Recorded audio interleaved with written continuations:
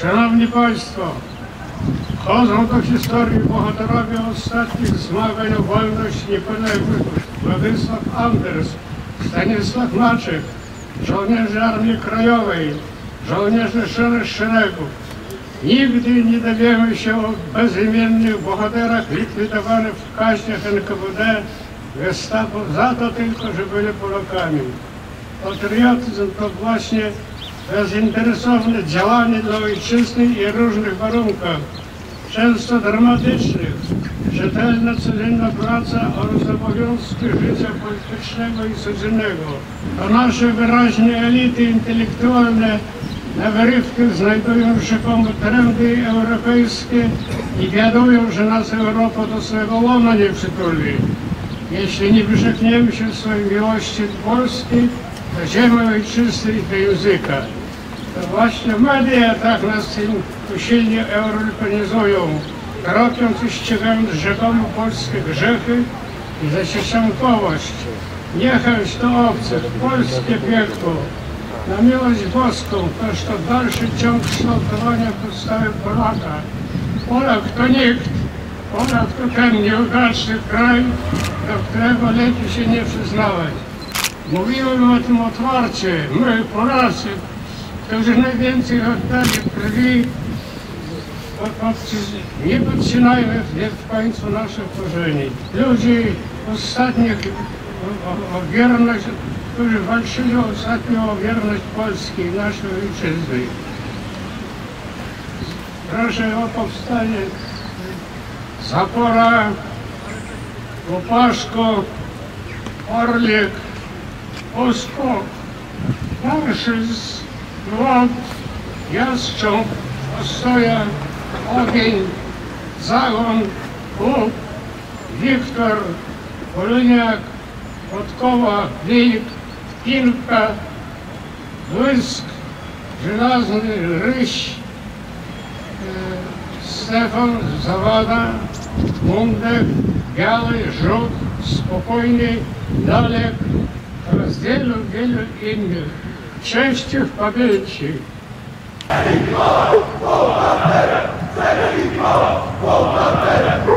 ludziom, którym my wszyscy jako Polacy zawdzięczamy naprawdę wiele.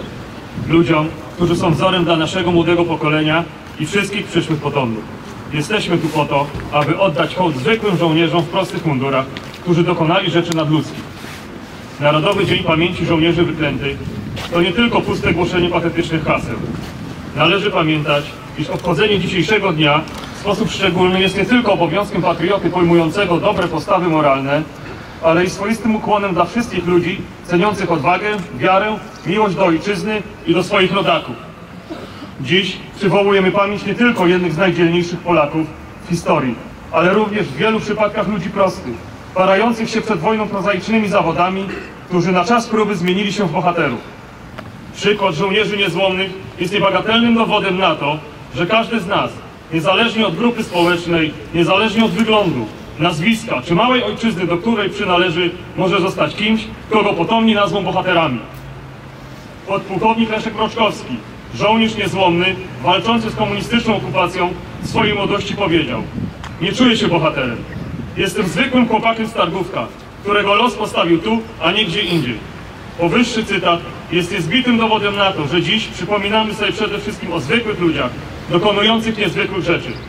Ja, myślę, żołnierz wyklęty, to mam przed oczami człowieka noszącego stary, poszarpany mundur z orłem w koronie na czapce. Ale widzę także osobę, która pomimo beznadziejnego położenia potrafiła zachować przyzwoitość. Powinniśmy wszyscy dzisiaj przy tej okazji odpowiedzieć sobie na pytanie, jak ja bym się zachował?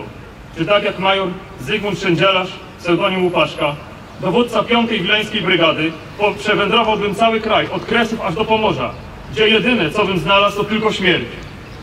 Czy niczym Józef Franczak, pseudonim Lalek, wytrwałbym na swoim posterunku przez niemal 24 lata, mimo że każdy dawno już złożył broń, a perspektywa wyzwolenia spod jarzma sowieckiego była praktycznie żadna. Czy wreszcie jak Witold Pilecki, żołnierz Armii Krajowej, człowiek, który na ochotnika wstąpił do obozu zagłady i później po ucieczce wziął udział w powstaniu warszawskim, by następnie nie złożyć broni, ażeby walczyć z kolejną, równie bestialską okupacją. Mam nadzieję, że od roku 1944 aż tak wiele się nie zmieniło i dziś również wielu młodych ludzi podjęłoby beznadziejną walkę. Zapraszam Państwa na uroczystość. Goń!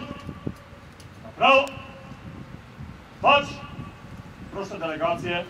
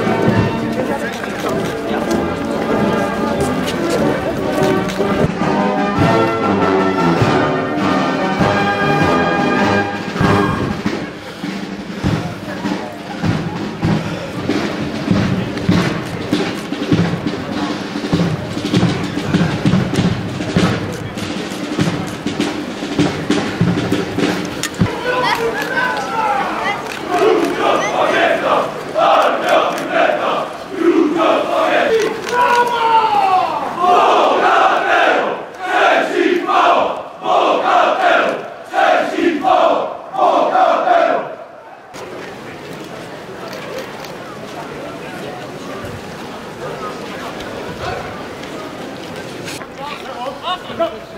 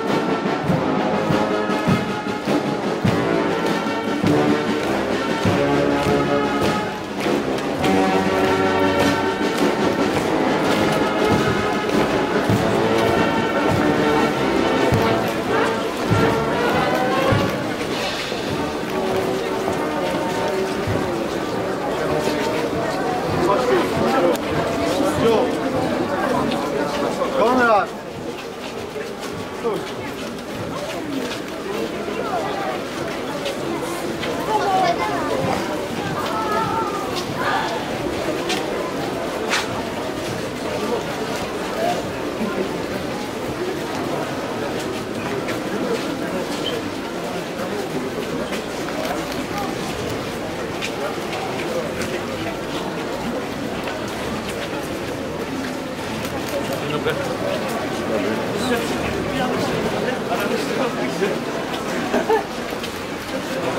you.